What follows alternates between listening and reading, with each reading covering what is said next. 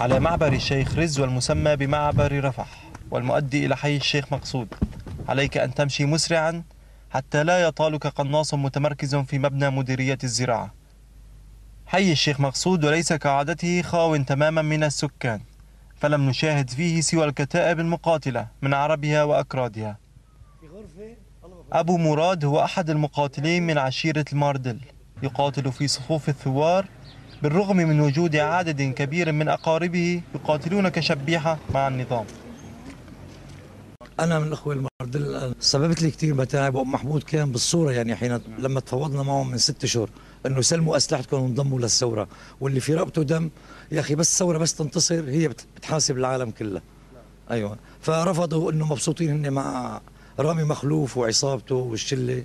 كان عم يمدهم بالمال وبالسلاح وبيشتروا العالم وبيشتروا المرتزقة بيشتري الناس أيوه الضعفاء. بعدين أنا أعطيك فكرة يعني المردل مو كلهم شبيحة نعم. في الطبقة المثقفة في الطبقة الفهمانة هي كلها تركت البلد وهربت نعم.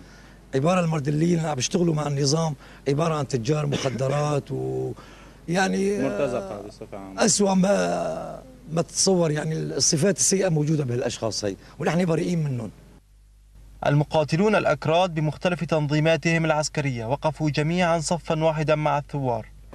وصدوا قوات النظام في حي الشيخ مقصود. نحن أول بالشيء مقصود. نحن أول نحمي منطقة شمال كان في لنا حواجز وعم نحمي هالشعب. لا ضربنا طلقة لل- للدولة لا للجيش الحر. نحمي صرنا سنة سنة ونص عم نحمي هالمنطقة. بالفترة الأخيرة يعني اضطرينا نحمل السلاح. نحمل السلاح ون... لأنه كل يوم يوم بيجي 30 40 قذيفة للمنطقة. كل قذيفة فيها 10 أرواح فيها 15 أرواح. يعني هل يعني اضطرينا نشيل السلاح ندافع عن هالشعب. ونحن يعني قوتنا معروفة قوة حماية الشعب.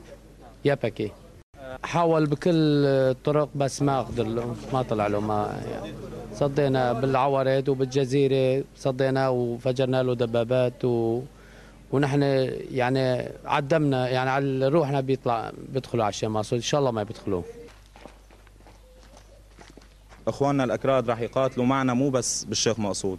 وهذا الشيء أنا راح آه، احكي عنهم بالنيابة لأني أنا بعرف موقفهم وبعرف شرفهم وبعرف وطنيتهم إيش هي. وهن من قبلنا معارضين للنظام من قبل العرب بكتير ومن قبل الماردل بكتير. وهن اللي أكثر ناس خسروا بسوريا ضد النظام. راح يقاتلوا معنا بالسبيل وبالشيخ طه ولنحرر آخر قصر الجمهوري لاخر معقل في, بيت بشار الأسد.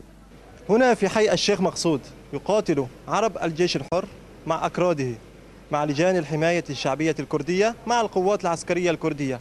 سعين جميعهم لإعادة حق قد غصب من شعبهم وفي سبيل حريتهم وكرامتهم. مؤيد سلوم أورينت نيوز من حي الشيخ مقصود في حلب.